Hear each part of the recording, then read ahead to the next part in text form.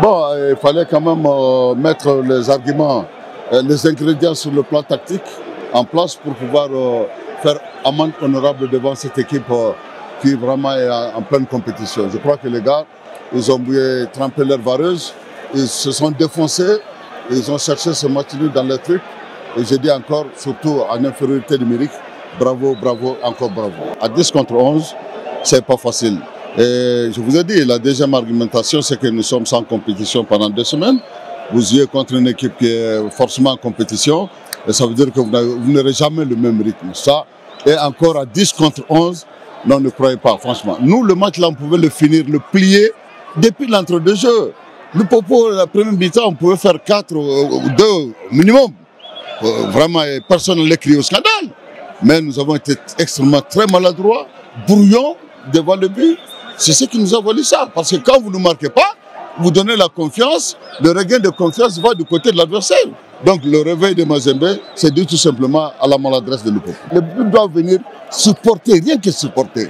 Donner du souffle, donner du tonus, supporter. Le public ne doit pas faire un autre rôle que de supporter. Mais si le public fait un rôle et fait le changement, mais ceci, je vous assure que ce n'est plus le football moderne. On est dans l'antiquité comme ça. hein. Ah oui, il faut que chacun joue son rôle et que chacun soit responsable des actes qu'il pose. Ça, c'est vraiment important. Bon, je pense qu'on a manqué un tout petit peu de lucidité quand même parce qu'on n'a pas fait les bons choix. On a joué latéralement et on n'a pas été dangereux même euh, avec un de plus. Bon, il faut dire qu'il y a quatre jours, on avait un match très intense et peut-être il n'y avait pas les jambes aussi pour pouvoir faire la différence. On ne peut pas dire que c'était pas bon. Pourquoi vous dites ça? Ben, C'est les 11 euh, meilleurs de toute façon qu'il y avait au départ, on les a mis. Vous savez, c'est pas parce qu'on a sorti un jour qu'il faut dire qu'il n'était pas ci ou n'était pas ça. C'est parce qu'on a pensé, on a estimé améliorer euh, le collectif de l'équipe, tout simplement. hein. C'est pourquoi on a fait les changements qu'on a fait à la mi-temps. Sinon, on n'aurait pas attendu la mi-temps. Vous savez, c'est des choses qui arrivent. Malheureusement, le B à bas, quand tu fais une passe au gardien, il faut le mettre à l'extérieur du but.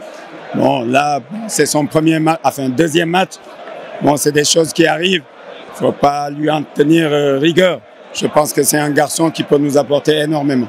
C'est un choix du coach, tout simplement. Parce qu'on l'a vu en difficulté en première mi-temps, ben, Madou était meilleur que lui de la tête. Vous avez vu en deuxième mi-temps de la tête, on était beaucoup plus souver- souverain.